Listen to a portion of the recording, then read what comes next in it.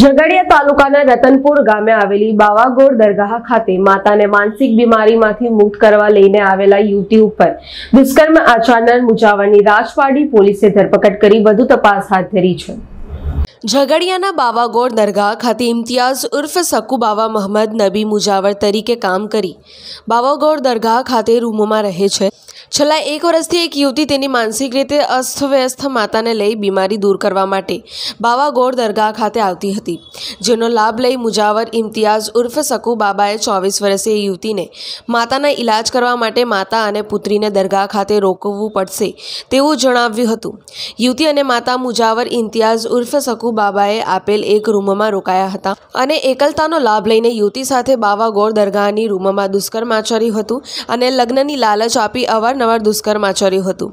આ બનાવની માતાને ખબર પડતા તેમને આઘાત અનુભવ્યો હતો અને આખરે આ બનાવ અંગે માતાએ રાજપારડી પોલીસનો સંપર્ક કરીને મુજાવર ઇમ્તિયાઝ ઉર્ફ સકુબાવા વિરુદ્ધ ફરિયાદ દર્જ કરાવી હતી. રાજપારડી પોલીસે રતનપુર પાસેથી બાવાગોળ દરગાહના સકુબાવાની ધરપકડ કરી વધુ તપાસ હાથ ધરી છે.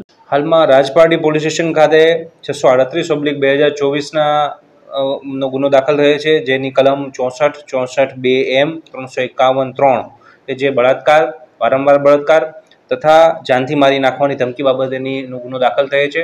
આ ગુનાની હકીકત એવી છે કે ભોગ બનનાર છે એ એમના બહેન તથા એમના મધર, કે જે એમના મધરની માનસિક હાલત ખરાબ હોય, મગજની બીમારી હોય કોઈના દ્વારા રેફરન્સ આપતા તેઓ આ જગ્યા જે છે, રતનપોર બાવાગોર દરગાહ ઝઘડિયા પાસે જે આવે છે ભરૂચ જિલ્લાની, ત્યાં આગળ સારવાર માટે આવેલા આ દરગાહના જે મુજાવર જે છે, એ ઇમ્તિયાઝ ઉર્ફે સકુબાપુ મોહમ્મદ નુબી, એમના દ્વારા આ જે બેન છે, તેમને ભોળવી યેન કેની રીતે લગ્નની લાલચ આપી તથા એકલતામાં તેનો ફાયદો ઉઠાવી વારંવાર બળાત્કાર ગુજારવામાં આવ્યો છે.